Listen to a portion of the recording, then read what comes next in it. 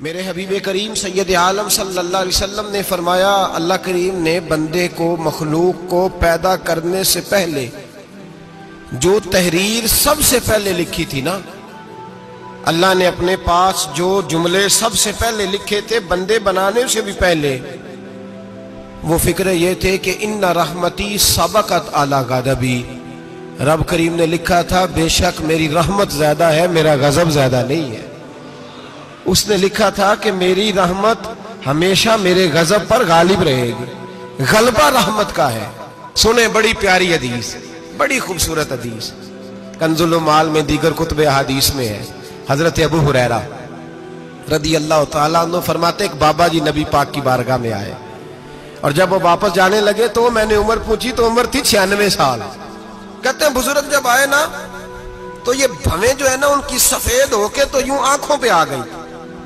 बड़ी छड़ी बाबा जी ने पकड़ी हुई और दोनों हाथ पकड़ के ना छड़ी के ऊपर झुके हुए हैं। एक जानी, कुर्बान जाऊँ। कहते हैं, जब वो बुज़ुर्ग मस्जिद में दाखिल हुए तो मेरे रसूल ने खड़े होकर इस्तकबाल फरमाया। खड़े हो। और नबी करीम सल्लल्लाहु अलैहि वसल्लम ने आगे बढ़ के बाबा जी को बाजू से पकड़ा और बिठाया। हुजूर बैठ गए, कहा, बुजुर्गो, कैसे आए हो? तो कहते हैं, वो बाबा जी बात करते तो आँख खोल के पहले हुजूर का चेहरा देखते फिर वो बात करते तो उनके लबो लहजे के अंदर बड़ी परेशानी, बड़ी तकलीफ़, बड़ी मायूसी अर्ज़ करने लगे, या रसूल अल्लाह हुजूर ज़िंदगी सारी गुनाहों में बीत गई है। हुजूर गलतियाँ ही गलतियाँ। याद माजी अजाब है यार अब छीन ले मुझसे हाफजा मेरा। अल्लाह के रसूल बड़ी लंबी फहरिस्त है, पाप ही पाप है, काले से दफ्तर है।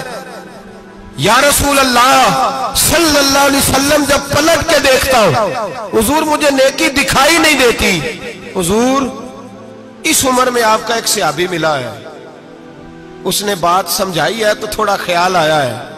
लेकिन या रसूल अल्लाह सल्लल्लाहु अलैहि वसल्लम, अब मेरा वजूद बेकार हो गया है।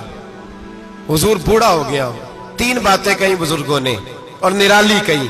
कहने लगे, या रसूल अल्लाह सल्लल्लाहु अलैहि वसल्लम, हुजूर अब तो मेरी कमर भी सीधी नहीं होती कि मैं नमाज़ ही सही अदा कर सकूँ। बूढ़ा हो गया या रसूल अल्लाह सल्लल्लाहु अलैहि वसल्लम, अब मेरे अंदर ताकत नहीं कि मैं मेहनत मजदूरी करके सदके और खैरात दे सकूँ। या रसूल अल्लाह सल्लल्लाहु अलैहि वसल्लम, अब मैं तलवार लेके जिहाद भी नहीं कर सकता। हुजूर, ना मैं लंबी नमाजें पढ़ सकता हूँ।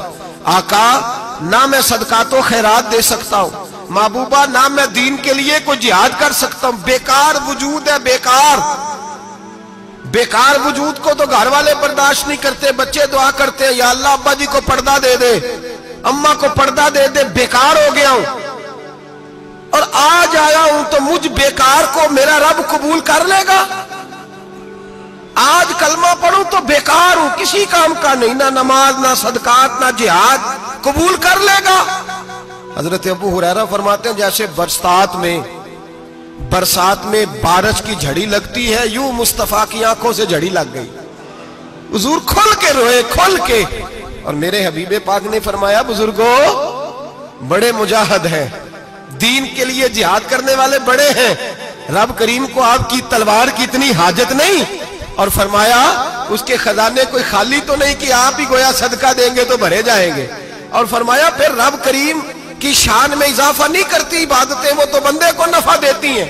मैं बुजुर्गो, ना आप जिहाद करें, ना आप सदकात दे, ला लंबी नमाजें पढ़े।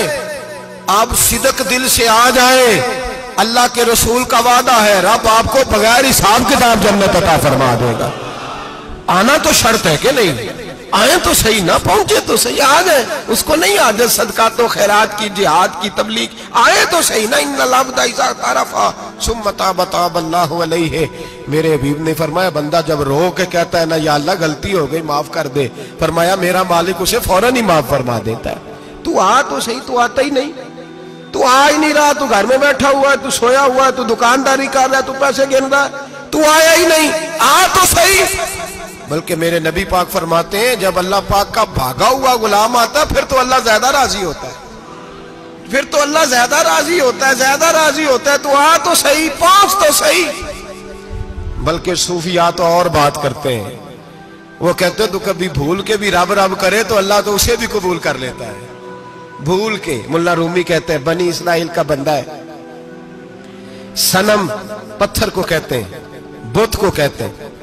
बुत के सामने खड़ा है और सारी रात कहता, या सनम या सनम या सनम ए पत्थर ए बुत सारी रात पुकारता रहा। रात गहरी हो गई। नींद का गलबा थक गया। सोने के करीब आया तो गलती से मुँह से निकल गया, या समद। या सनम की जगह निकल गया। रब करीम ने फरमाया, जिबरील, दौड़ के जा। जो माँगता इसे दे दे। हज़रत जिबरील अर्ज़ करते हैं, मौला, भूल के तेरा नाम ले रहा है। भूल के ले रहा है। तो रब करीम ने फरमाया, चल, नाम तो मेरा ही ले रहा है ना। मेरा ले रहा है ना। या अल्लाह, वो अल्लाह करीम ने फरमाया, झूठे के सामने सारी रात का खड़ा है, सारी रात का पुकार रहा है, उसे कुछ नहीं मिला। तो सच्चे का नाम लिया है, अगर मैं भी कुछ ना दूँ और बुत में और मुझमें फ़र्क क्या रह जाएगा? जा, जो माँगता है, झोली भर के दे, नाम तो लिया है ना। ओ भाई, तू बहाना तो बना ना, ओ आ तो सही ना। तू यहाँ आ जा, पहुँच जा। आ जा बस बैठ जा। उसकी बारगाह नाज में हाजिर तो हो ना, तुझे फुर्सत ही नहीं। तू यारों के लिए टाइम निकालता है, बाजारों के लिए टाइम निकालता है, गलियों के लिए टाइम निकालता है, चौकों चौराहों के लिए टाइम निकालता है, हफ़्ते में एक दिन होटलिंग के लिए भी जाता है। लेकिन कभी छुप के दो नफलों की तुझे तौफीक नहीं होती, और मैं कई दफ़ा कह चुका हूँ, जिस बंदे को बगैर इबादत के रिजक ज़्यादा मिलने लग जाए, उस पर आजमाइश होती है, रब करीब की अल्लाह फरमाते इसको पैसे दो, इसे आने ना देना। इसको को चल पैसे दौड़ जा। लोग समझते हैं, मैं बड़ा से जहीन हूँ, अकलमंद हूँ। देखो, मैं अपनी होशियारी से, चलाकी से आगे निकल गया। तो आजमाइश है। ये तो आजमाइश है रब करीम की तरफ़ से। ये तो उसकी खुफिया तदबीर है। मेरे भाई, उसकी बारगाह नाज तक जो आ गया, आना तो हमारी ज़िम्मेदारी है कि नहीं? फिर उसकी रहमत आगे बढ़ के इस्तकबाल कर लेती है।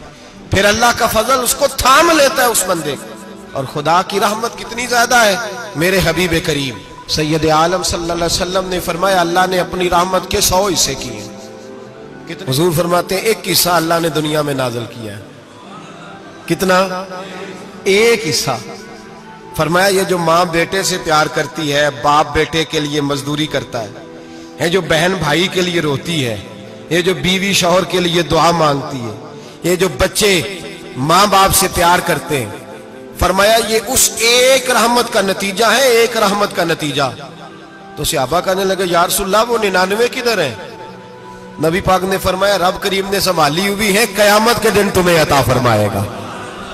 अभी तो एक नाजल की है। अभी अल्लाह ने हज़रत यूसुफ सलाम के जमाने में कहत हो गया। तो जनाब यूसुफ सलाम ने, क्योंकि आप अल्लाह के नबी थे पहले से जान गए, कहत होगा तो हज़रत यूसुफ ने गंदम पहले स्टॉक कर ली थी बहुत ज़्यादा। बाकी इलाकों में जब कहत पड़ा ना, अब सब लोगों ने मिस्र की तरफ़ रुझान किया गंदम लेने के लिए। तो हज़रत यूसुफ सलाम ने ना शहर के दरवाजे पर बंदे खड़े कर दिए। फरमाया, जो बंदा आए ना, उससे दो सवाल पूछना। जो आएँगे लोग गंदम खरीदने, जो आए दो सवाल पूछना। एक पूछना, कहाँ से आया है? और एक पूछना, लेके क्या आया है? एक पूछना समझ आ रही है बात? की और दूसरा पूछना कि लेके सोना लेके आया है, चांदी गंदम खरीदनी है तो क्या चीज़ लेके आया है? कि नगद पैसे लाया ये पूछ लेना। जो आए दो बातें पूछना। एक पूछना, कहाँ से आया है? और दूसरा पूछना, क्या?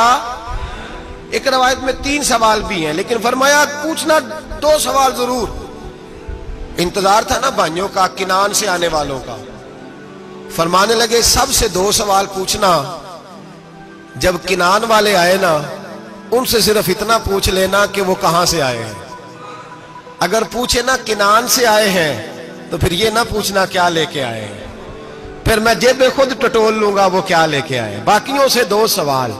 जब मेरे भाई आए ना, भाई भाइयों के वैरी होंगे ते भाई भाइयों दिया बावा, जब मेरे भाई आए तो उनसे ये नहीं पूछना कि वो क्या, बस ये पूछना कि कहाँ से। इतनी बात पूछना, बाकी मैं पूछ लूँगा। आप फरमाने लगे, रब भी फरिश्तों से कहता है, तुम कब्र में ना मेरे बंदों से ज़्यादा सवाल ना करना।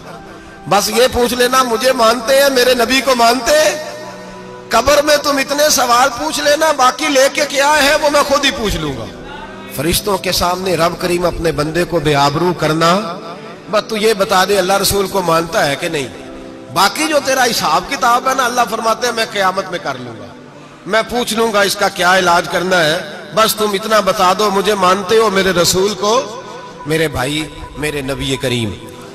सलाम फरमाते हैं, जो बंदा तौबा करने वाला था, अल्लाह की बारगाह में आने वाला था बार बार तौबा करता था, एहसास रहता था उसे, एहसास था, आया करता था, फिर भी गलतियाँ हो गई।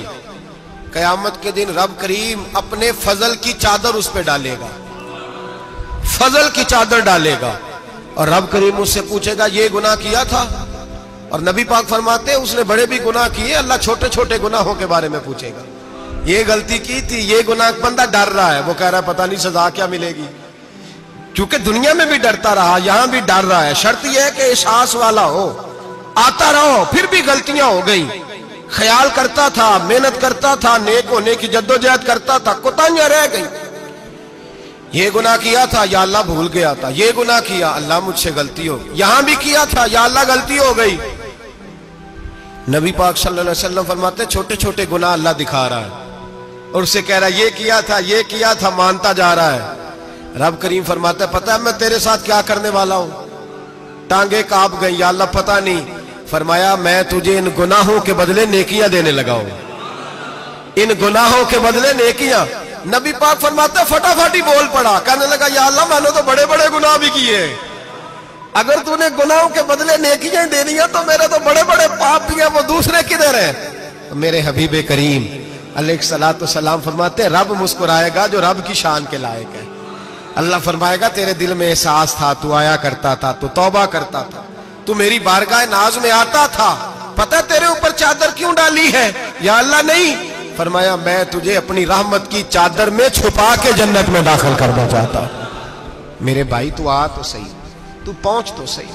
मेरे नबी करीम सलाम ने एक दिन से आबा से पूछा, एक बात तो बताओ, बुखारी मुस्लिम की हदीस है, या रसूल अल्लाह पूछिए।